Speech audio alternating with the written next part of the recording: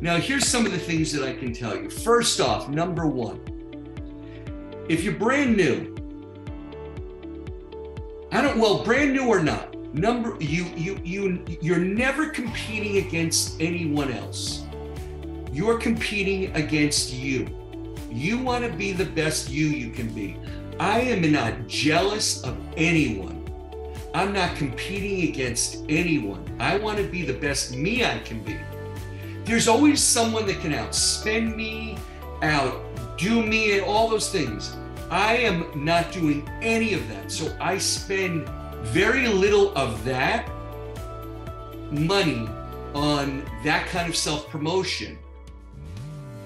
I, I spend most of my investment on my people mm-hmm. and my relationships mm-hmm. because I get my best return on that.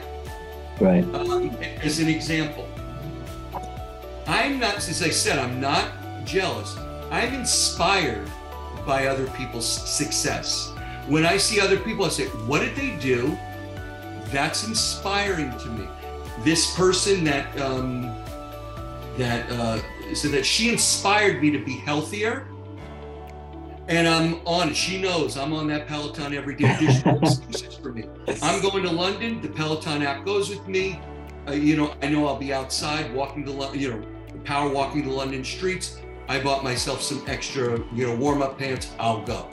But the fact yeah. is, is that I know there are people that spend more time looking at what the other person's doing. Now, maybe that if you're inspired by it, it's one thing.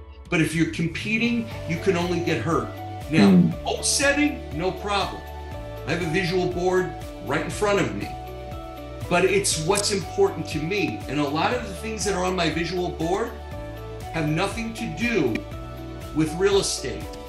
They may be goals. A lot of them are on there. I got there was a Tesla on there. There's a Tony Award on there. Haven't gotten it yet, and I want two. And they're not because they're statues, because I want one from to pass on to my daughter and one to pass on to my son.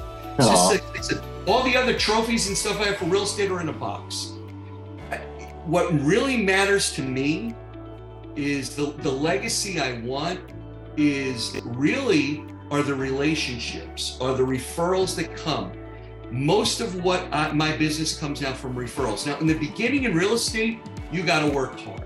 So that means the open houses. You have to leverage your people. Right, and, right. In the beginning, people don't want to be trained on, so they're not giving you anything.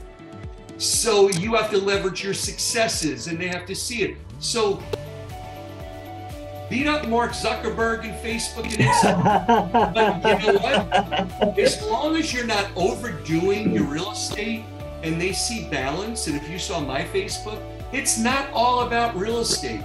Sprinkle real estate. Most of what you see about people is me thanking my clients for giving me the opportunity.